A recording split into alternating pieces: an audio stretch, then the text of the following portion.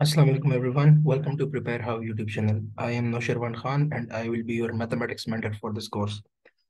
इस कोर्स में हम जो एनबीएस का कोर्स है, वो सारा कवर करेंगे मैथमेटिक्स आपके एनबीएस के कोर्स में मैथ्स होता है इंग्लिश होता है एंड आईक्यू होता है इस कोर्स में हम मैथ्स स्टार्ट करेंगे और आईक्यू पे ख़त्म करेंगे जो इसका मैथ्स का पोर्शन होता है, वो एटी एमसीक्यूज का होता है इंग्लिश भी एट एमसी का होता है एंड आई क्यू जो होता है वो आपका फोर्टी एमसीक्यूज का होता है। आई क्यू आपका फोर्टी एमसीक्यूज का होता है। टोटल आपका टू हंड्रेड एमसी का टेस्ट होता है जो आपके प्री मेडिकल स्टूडेंट होते हैं, जो कि सी एस के लिए अप्लाई करना चाहते हैं, उनको भी यही मैथ्स पढ़ना होता है। This is basic maths so what is basic maths basic maths in short अगर आप लोग पूछे, जब भी आप कोई कंपेटिटिव टेस्ट देते हैं, उसमें आप लोगों से कुछ रेशियोज वगैरह के क्वेश्चन किए जाते हैं और जस्ट यूजुअल स्टफ़ जो कि आप लोगों ने सेवंथ एट में पढ़ा होता है बट उसका थोड़ा हायर वर्जन आपको नाइन्थ और टेंथ क्लास में मिलता है। So we just talking about that higher version ninth and tenth matric का मैथ्स इन शॉर्ट अगर आप पूछे। तो मेट्रिक का जो मैथ्स है ना, वही आपका बेसिक मैथ्स है। फॉर एग्ज़ाम्पल आपके बेसिक जो एंगल्स वगैरह होते हैं ना बेसिक एंगल्स सही है thirty degree forty five degree वगैरह। उनके ट्रिग्नोमेट्रिक फ़ंक्शन तो ट्रिग्नोमेट्री भी आ जाती है। रेशो एंड फ्रैक्शंस वगैरह आ जाते हैं। सही है रेशोज वगैरह आ जाते हैं। एलसीएम वगैरह आ जाते हैं एंड सो ऑन शेप्स आ जाती है for example square and circle तो ये सब इस कोर्स का हिस्सा होगा। आपको वन बाय वन ये सारे टॉपिक्स कवर कराए जाएँगे। प्लस इनके एमसीक्यूज भी अपलोड किए जाएँगे solution to those MCQs as well मतलब practice test in sense and past MCQs भी आप लोगों को प्रोवाइड कर दिए जाएँगे। अच्छा why are past MCQs as important as the test even or the course itself past MCQs उसकी एक वजह होती है। यार देखिए, जो यूनिवर्सिटी होती है ना, वो नए कंसेप्ट तो मतलब नहीं ईजाद कर सकती ना टेस्ट में ना, ला सकती है। क्योंकि अदर देन दैट क्योंकि कोई उसका टेस्ट देगा ही नहीं, क्योंकि सबको पता होगा कि तो वैसे भी आउट ऑफ़ कोर्स स्टफ़ देती है टेस्ट में।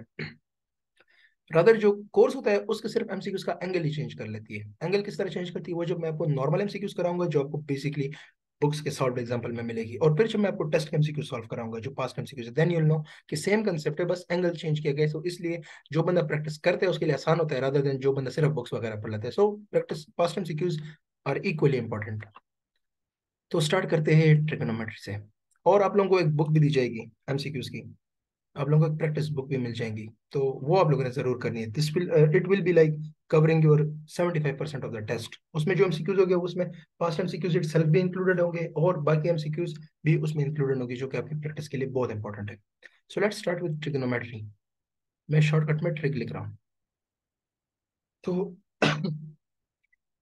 अगर आप मेडिकल में हो या फिर आप नाइन टेंथ में मैथ्स को थोड़ा सा ध्यान दिया तो आप लोगों को ये एंगल्स वगैरह दिखते थे thirty degree, forty five degree and so on और इनके ट्रिग्नोमेट्रिक रेशियोज दिखते थे for example sine thirty degree किसके बराबर होता है? डेप्थ में नहीं जाएँगे कि साइन थर्टी डिग्री का मतलब क्या है, वो आप लोगों का नीड नहीं है, वो इंजीनियरिंग वालों का नीड है। But what is sine thirty degree की वैल्यू क्या होती है?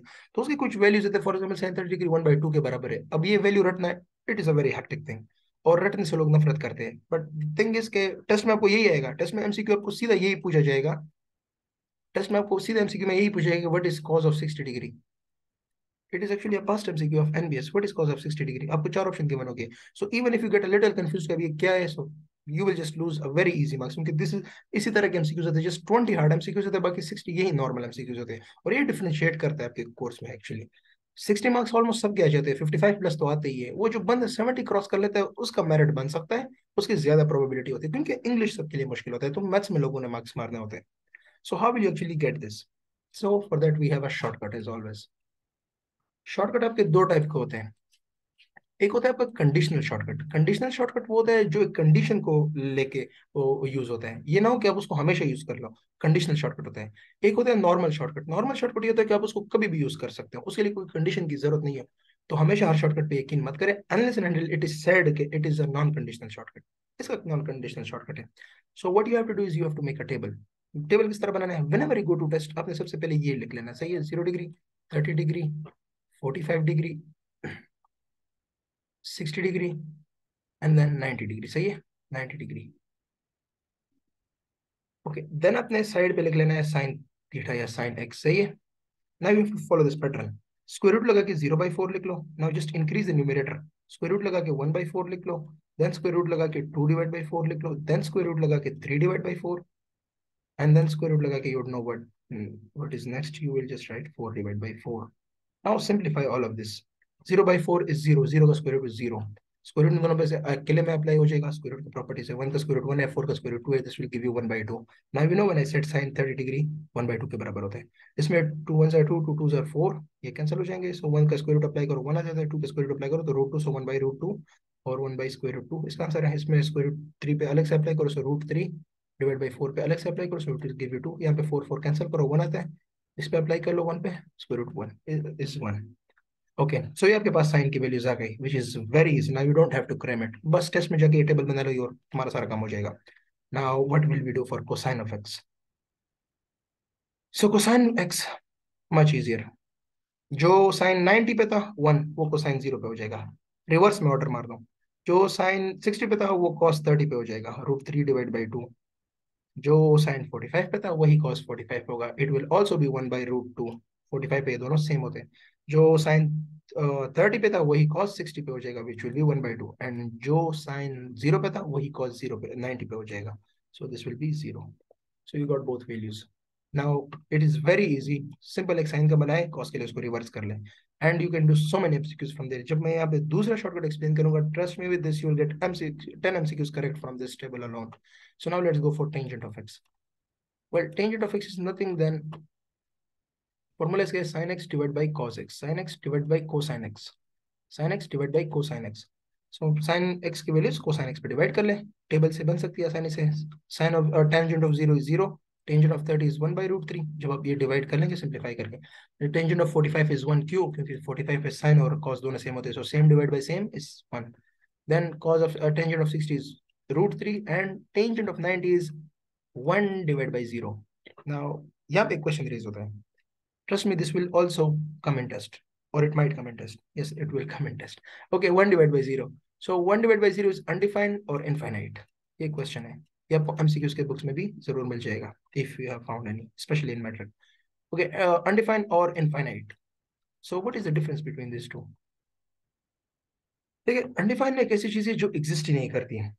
Something that does not exist exist नहीं करती। You can not define it at any cost उसके कोई प्रॉपर्टीज़ ही नहीं है जिससे आप डिफाइन कर लो। फॉर एग्ज़ाम्पल फिजिक्स में आप लोगों ने कभी चार्ज पढ़ा होगा ना? चार्ज कभी किसी ने देखा नहीं है बट आप उसको प्रॉपर्टी से डिफाइन कर लेते हो।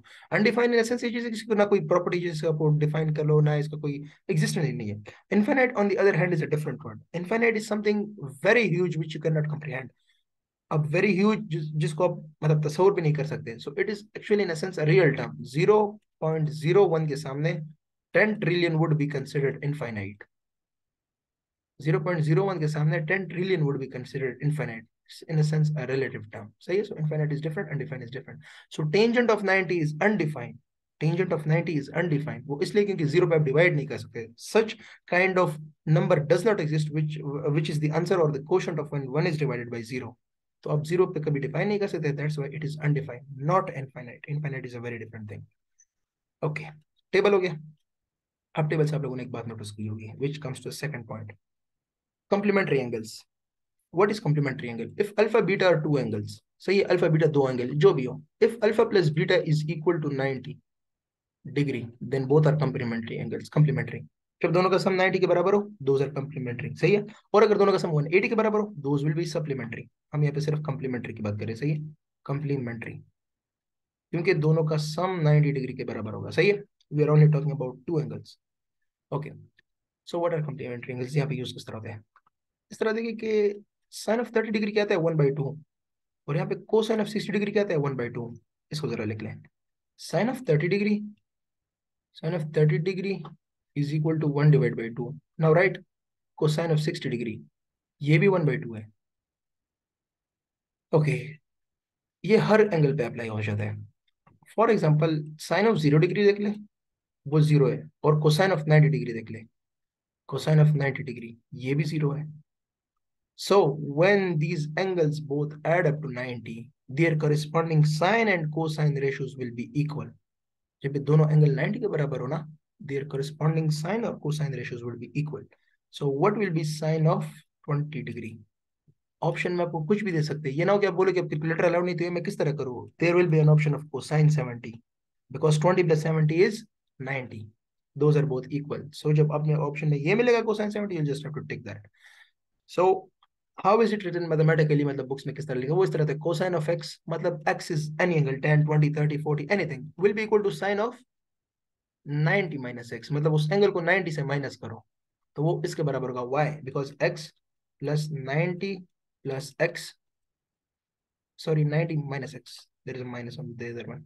Plus 90 minus x is equal to 90 degree. X x x और minus x cancel हो जाता है। तो दोनों का सम 90 डिग्री बन रहा है, so obviously both would be equal. Conversely cos of 90 minus x would be equal to which one? Sin of x. Sin of x.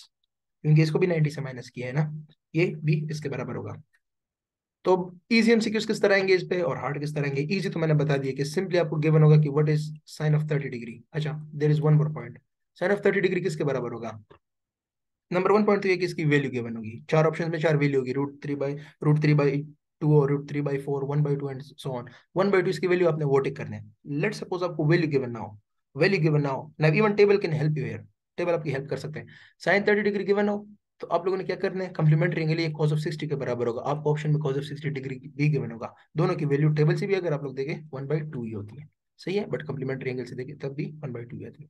Let's talk about hard MCQs for example आपको दे दिया कि what is 2 cosine of 70 2 cosine of 70 denominator में सही है? 2 cosine 70 denominator में और ऊपर आपको गिवन है cosine of 70 plus sine of 20 plus sine of 20 now again you will say कि मेरे पास कैलकुलेटर नहीं है तो मैं इसको किस तरह करूँगा? सही है? कैलकुलेटर नहीं but now you will have to use the concept of complementary angle 70 plus 20 is 90 70 70 plus 20 is 90 so ये दोनों कंप्लीमेंट्री एंगल ये दोनों इक्वल है कोसाइन 70 को आप sin 20 भी लिख सकते हैं या फिर sin 20 को आप कोसाइन 70 भी लिख सकते हैं। So you can just write the upper one as cosine 70 cosine 70 plus cosine 70 क्योंकि sin 20 भी कोसाइन 70 के बराबर है नीचे को 2 कोसाइन 70 अपनी जगह So you add both of these. This will give you 2 cosine 70. नीचे भी 2 cosine 70. Answer is 1. और इसका एक बहुत ही अच्छा शॉर्टकट मैं नेक्स्ट वीडियो में बताऊँगा we shall cover all of this MCQs जिसमें आप कंप्लीमेंट्री एंगल की भी शायद आपको ज़रूरत ना पड़े, उसमें कोई फॉर्मूला याद करने की ज़रूरत भी ना पड़े। Trust me in you don't need to memorize a formula अगर आपको कभी भी कोई क्वेश्चन आ गया ना कि फॉर्मूला फॉर एग्जांपल ऊपर गिवन हो कि what is sine of x by 2 for example आपका हाफ़ एंगल का फॉर्मूला है, कि व्हाट इज़ दिस इक्वल आपको चार option given you don't need to memorise the formula trust me with this trigonometry की कोई फॉर्मूला रटने की ज़रूरत नहीं। देयर इज़ अ शॉर्टकट वो अप्लाई करो, हमेशा अप्लाई हो जाता है। So this is equal to one conversely आप इसको इसके अंदर भी कह सकते हैं। साइन ट्वेंटी को सॉरी को साइन ट्वेंटी सेवेंटी को आप साइन ट्वेंटी लिख लेते हैं। So sine twenty plus sine twenty